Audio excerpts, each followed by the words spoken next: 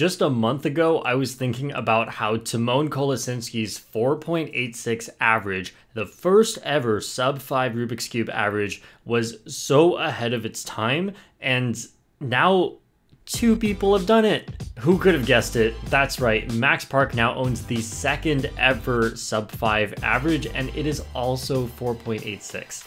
Okay, let me just say what I think we've all been thinking. Tymon's 4.86 was so good that we all had a little bit of doubt in our heads about whether Max Park would be able to break this one, at, at least so soon. But then at the same time as that doubt, we all knew it was Max Park, and of course he'd be able to do it. We're talking about the guy that got a 7x7 world record so far ahead of second place. It is even faster than I am at 6x6, so let's just not talk about that. As always, we'll be talking about some of the really smart stuff Max did in his solves, and also some of the stuff that only Max Park can get away with. Before that though, I want to show you what I said in my last video. Max Park breaks the world record by 0.01, Max Park breaks the world record by well, 0.01 if you count the first time he broke it that day, he just broke it again the same day. Meanwhile, Tymon is breaking the world record by over a fifth of the second each time because he's trying to stop Max Park, but it is inevitable and Max Park is going to get that 4.85 average very soon. So the way Max has been taking Tymon's records always feels a little mean. But okay, this time he didn't break the record. Tymon still has the record as well. They're, they both have the record. It's tied at 4.86. But there's two ways you can look at this. The happy version is that Max doesn't want to do this anymore. He doesn't want to take Tymon's records by 0.01. It feels a little slimy. So what he's doing is just tying the record instead, saying, I want a world record, but you can have yours too. All right, but that's the happy version of it. What if Max Park really doesn't care about Tymon and is just trying to get as many world records as possible, and he's gotten better at it. If you take the record down by 0.2, you make it significantly harder to break the record again. And Max Park has broken so many records, he's so experienced at this. He's definitely not breaking the record, just tying the record so that there's more room for him to get another record. So call me crazy, but I wouldn't be surprised if the next world record is by Max Park 4.85. We always say it's not gonna happen, and then it just happens. Anyway, congratulations, Max Park. Let's see what he did in these solves. This was the first scramble of Max's average with the two red pieces here, so he did the red cross. I know a lot of you want to see the reconstructions done with white cross, so we're going to start with white on where the red side was. So we're going to start like that, then do the scramble and it will give you a white cross instead. So here's the scramble I will be reconstructing on, which has the white cross so a lot of you can see what's actually going on. For this cross, we have the blue and red pieces here, and these two are pretty much solved. So the most obvious way you could do this is by putting in blue like that, and then red goes here and D2. The only reason Max didn't do that here is because of this pair, and doing those first three moves breaks up the pair. So instead, what you can do is move red over here, ready to go in, then put blue on top of it. So the first move buries this pair, but then putting blue on top and solving blue will actually bring this pair back out. And if that seems advanced, well, this edge has been solved since the beginning. And so he tracked this corner in inspection, did D prime, and solved it into its slot for an X cross, and then D prime again. There's our X cross with a saved pair, which is a great inspection. Funny thing is though, this solve could have been so much faster if he didn't mess up in the beginning. He forgot which D move he had to do in order to set up the corner, so he looks down and looks back up and then just keeps solving and still gets a 4. But if you see the rest of the solve, you'll know why it was fast. So here is the next pair from inspection, and he rotates to solve it into this slot. Now, normally we want to solve into back slots to fill them up, but when you have diagonal slots, it doesn't matter because either way you have one front and one back slot left. This next part is interesting. I've noticed a lot in the past that Max does not seem to mind cube rotations. He almost like doesn't even think about them. So in this case, we can do this pair without a rotation and it's very easy to see. Then there's also this one, but he rotates first and solves it like this, and then inserts it into the back. Now, technically, you could do this one rotationless still by pairing them up like this and inserting like this. I know a lot of top cubers don't do that, but that's just something you could do, even keeps a cross on top. But Max just does this with a rotation, and then he has this pair. And what he does next is just complete luck. Actually, what you should do in general for a case like this is orient all of the edges, for example, double sledgehammer. What Max does almost ignores the edges, maybe because he doesn't know a lot of ZBLL, but does it like this, and then just inserts them like that. This just gives a regular OLL, but it also gives a PLL skip. I feel like a lot of times when I'm analyzing Max's solves, I think to myself, hey, that's not smart. Oh, wait, you gotta, okay, that was really lucky. Did he know it was gonna happen? Maybe. On the second scramble, we have this giant thing for yellow. It is almost solved, so Max does the yellow cross. I think you guys with white cross are good enough to see yellow cross, so we're just gonna do yellow instead of white here. So what Max does here is pretty advanced, and honestly, we're gonna look at orange cross later, it's gonna be really simple. It seems like top cubers always miss something easy on orange cross. Okay, the idea you would use to solve this cross if you were just solving the cross and nothing else is these two are solved in one move, but the orange one is not. So you could just solve blue into that spot and then solve the rest of the cross and then just put orange back in. And that's just a four move cross. He's going to do the same replacement technique for orange and blue, except he notices that the orange blue edge is solved, so he's gonna solve the corner as well.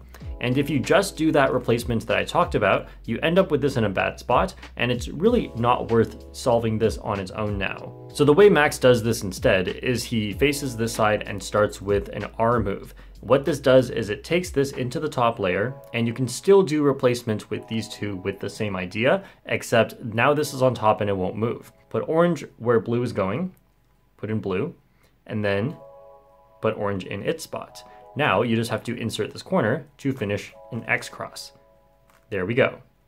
One thing I think Tymon is really good at taking advantage of that Max is not quite yet is the difference between D moves and wide U moves. Because in this situation, the next best pair to do is this one and this one, but you will have to do a cube rotation to make it a good case. So instead of the D move at the end, if Max had just done a wide U prime, then this would have been rotationless. But Max rotates this way and then solves it from here. And this is actually important. You don't always want to force back slots to be solved. I mean, it's a good general rule at the start because it tends to leave you with more open front slots, but in this case, it actually is better to rotate and solve it as a front slot. It's a bit nuanced, but the reason is because there are actually things in this slot to look at, and there's nothing in this slot really to look at, it's just that. So by solving this as a front slot, you get the two new pieces in your front view.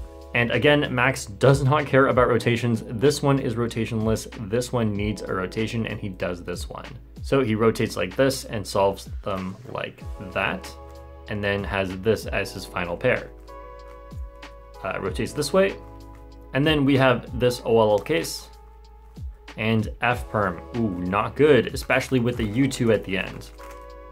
59 moves is supposed to be above the average number of moves you need in a CFOP solve, and I am surprised he is still getting fours on these. Max, you are crazy for not doing orange because orange is actually a little simpler. We just have two pieces solved and these two. So the thing with orange is there's this pair right here. And so there's a few ways you can save this. You can just solve white like that and then solve green like this. So this is like the dumbest possible cross solution and it just keeps the pair and just insert the pair and you have this next. This is gonna be a pretty good solve. You can also save this pair by doing the same thing I just did except solve the green one before the white one and then when you do that then you also get another three mover here. Don't know if Max would have done that and we've seen this time and time again with my analyses of the other records Max has gotten.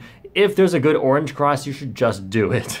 Okay, I think at this point it's pretty much common knowledge that Max Park does not do U2 double flicks, he does them one flick at a time, which is actually worse than two moves usually because you have to reset your finger in order to use the same finger again. So yeah, this is actually really bad and it's surprising to me how good he is without double flicks. However, look at the end of the solve. He does a U2 with a double flick. Guys, we're screwed.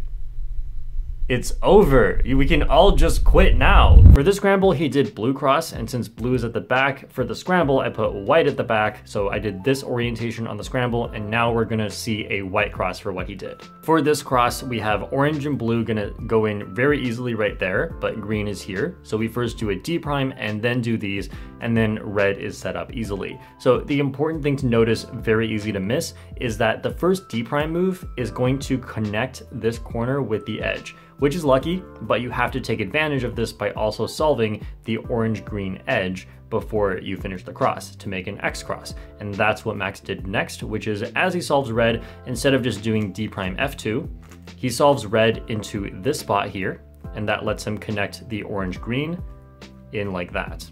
And then that also made and saved this pair. So he does this pair next. X cross into free pair, we've seen that before today. Remember when I said Max doesn't care about rotations? Like, come on, this is here, how did you see this? Well, anyway, he saw this one first, and then he decided, okay, I'm going to rotate here, pair them up, U2 rotate, insert into the back, and there's two U2s there and he's doing them as single flicks, so that adds a lot of time. And instead of all those moves, okay, you do have this pair, it's better, but let's say you really wanted to do this pair. You can pair them up in three moves, and that is like this. Like, okay, I don't know if he knows that, but that is way better. I am better than Max Park, confirmed. Anyway, after what he did, he had this case and then pairs them up like this and inserts them into the back. Then he has this case, and what a lot of top cubers are doing now for this OLL case, which is arguably one of the worst ones, is uh, they will just do F sexy move F prime, and that gives them this OLL, and the TOLL is really good for ZBLL. Now, what Max does is interesting here. He does U, U prime, and okay, I'm not sure what was going through his head. My best guess is he knows some ZBLLs for this case, but realizes he doesn't know this exact one, or for this exact one, he's decided how he's gonna do it is just OLL PLL. Because, um, okay, this is gonna be more useful for those of you who don't know ZBLL. This TOLL, I've talked about it before, you actually can pretty much always predict the PLL that's going to be next. Well, at least when you see the corner pattern and know it'll be soft corners, which he definitely saw, then uh, you can look just from what's remaining in this block to determine what PLL is gonna be. And if you don't believe me, just look at what's in there. I'm gonna do the OLL and these are all the same colors as before, which is enough to actually deduce that this is a U-perm. So there it is, and he went straight into the U-perm with no pauses because he knew what it was going to be. I think the actual problem in this solve was that he didn't clap. I'm, I think if he clapped, he probably would have gotten a lower time. In the next scramble, Max does white cross, and this is actually not too hard, but there are a lot of ways you could approach this, so I'm wondering what you guys would do. Try it out before you see what Max does or don't, I don't care. What he did was R prime first, that solves orange and blue. Now we have red here, green here, and we just do replacement with red onto green. So we can do D2, and as we do the replacement here, pay attention to the red and green pair. So right now what we'd like to do is have them move like that, have the corner move, so that they are gonna be a paired case. So R prime actually has two purposes now. It puts in red, but it also hides this edge. It's like an F2L thing. And then D prime, instead of just doing R, we can do U to place the corner correctly, and then that makes this pair. D prime, and then um, I don't know how Max did this, but he somehow saw this one but didn't see this one. So everything I just told you about the red-green pair, I actually lied. He was looking at the red-blue pair when he thought of those moves and didn't even notice this, which is much harder and worse. Because now, instead of having two free pairs, which would have been amazing, look, the rest of the solve is great. Oh, wow, if you just do that, you have this free pair. Insert, insert, oh, this is amazing. I can't do right-handed algorithms. But instead, by inserting this pair first, then he has stuff that's just a lot worse. So here we have these two, he pairs them up like this, and I just want to point out that doing this pair first actually really interesting because I think that's maybe the worst one you can choose. If you do any other pair, look, you just get this paired up and then this paired up. Max, you missed so many good things here. Okay, I'm getting ahead of myself. He does this pair and then inserts them like this. And then we have this one and this one. Good look ahead because that's a tough one. So he pairs them up, like this and then inserts and then has this pair last. Okay, and then we have an OLL that leads to a diagonal swap PLL, which is not the good ones, but luckily YPerm is the best one out of them. So lucked out a little bit at the end there. Max, the fact that you can do this at 12.5 turns per second and still get a world-class solve, Max Park is better than me confirmed. Alright, now going into Solve 5. At best, he can only tie the world record average at this point. It doesn't matter how fast his final solve is because the fastest and slowest times get removed from the average. And as we all know, Max ends up getting the best solve of the average and let's see how he did that. This scramble I did with blue top, white front, that way the green cross that he did shows up as a white cross. So here, um, what he did first is very smart and something I never would have thought of. So you can try to see what you do for this cross. You probably will not do the same thing as him. So here we have uh, F prime to set up the orange here, and that is going to replace green soon. But First, he does L prime, and that sets up this pair, which he knows is going to come out to the top at some point. That's very smart. But then on top of that, he does a U move here, and that keeps this one right here because for the rest of the cross, he just does R and D moves, which means if this one was here, it would be very confusing. But if it was here, it wouldn't move. So he has his first two pairs planned from inspection, but not from working harder and tracking them, just from working smarter and adding two moves to make them easy. So we can just ignore this pair, he's already tracked in that it comes out to the top. So we take orange, put it in green spot, and put green back in, and then next we solve red, like this.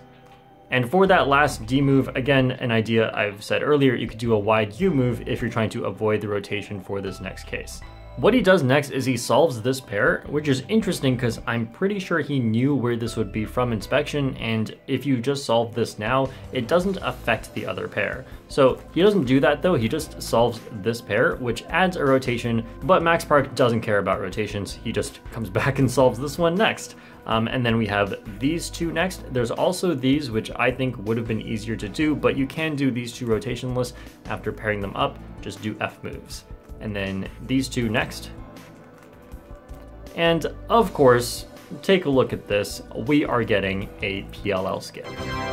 So I guess today we've learned that Max can double flick so it's over for the rest of us, you have to clap after a solve for it to be a good solve, and Max is just setting himself up to get as many world records as possible.